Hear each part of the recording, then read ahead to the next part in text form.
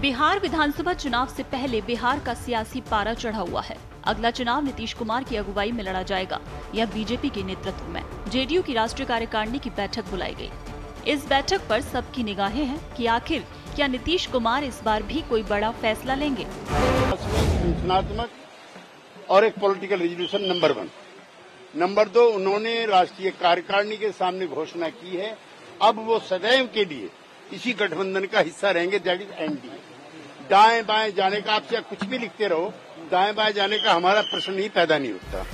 लोकसभा चुनाव से ठीक पहले नीतीश कुमार ने कार्यकारिणी बैठक बुलाई थी और बिहार की सरकार बदल गई थी। उस बैठक में नीतीश कुमार ने महागठबंधन का साथ छोड़कर एनडीए में वापसी करने का फैसला लिया था। बीजेपी के साथ गठबंधन के बाद जेडीयू की ये पहली मीटिंग है। इस बैठक से ठीक पहले बीजेपी के दिग्गज नेता और पूर्व केंद्रीय मंत्री अश्विनी चौबे ने बीजेपी की अगुवाई में उतरने की वकालत की है। उन्होंने दावा किया है कि इससे बीजेपी पूर्ण बहुमत के साथ सत्ता में आएगी और एनडीए की सरकार बनेगी। हालाँकि बीजेपी ने 2025 के विधानसभा चुनाव में भी नीतीश कुमार के नेतृत्व में उतरने का ऐलान किया है। अश्विनी चौबे का बयान जेडीयू नेताओं को पसंद नहीं आया। भारतीय जनता पार्टी मेरी स्वयं की इच्छा और मैंने अपने नेतृत्व को भी बताया है। कि भारतीय जनता पार्टी के नेतृत्व में एनडीए की सरकार बिहार में बननी चाहिए।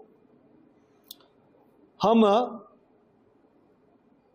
पूर्ण बहुमत के साथ भारतीय जनता पार्टी अकेले अपने दम पर आए और एनडीए को भी, अपना सहयोगी दल को भी आगे बढ़ाए, ये हमारी मंशा है और उसके लिए हर कार्यकर्ता को अभी से लग जाना होगा। और मैं इस काम को बखूबी करूँगा बिना किसी चाह का।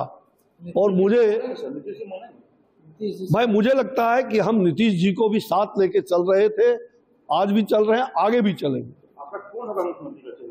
भाई मुख्यमंत्री का चेहरा तो उस समय जब चुनाव होगा उसके बाद देखा जाएगा। अभी वो पार्टी तय करेगी केंद्र का नेतृत्व तय करेंगे। पहले या बाद में क्या होगा वो केंद्र नेतृत्व तय करेगा। चौबे के बयान के बाद बीजेपी प्रदेश अध्यक्ष और बिहार के डिप्टी सीएम सम्राट चौधरी ने मुख्यमंत्री नीतीश कुमार के आवास पर जाकर मुलाकात की। इस मुलाकात को अश्विनी चौबे के बयान से जोड़कर देखा गया। हालाँकि नीतीश कुमार से मुलाकात के बाद सम्राट चौधरी ने कहा कि वो हमारे मुख्यमंत्री हैं।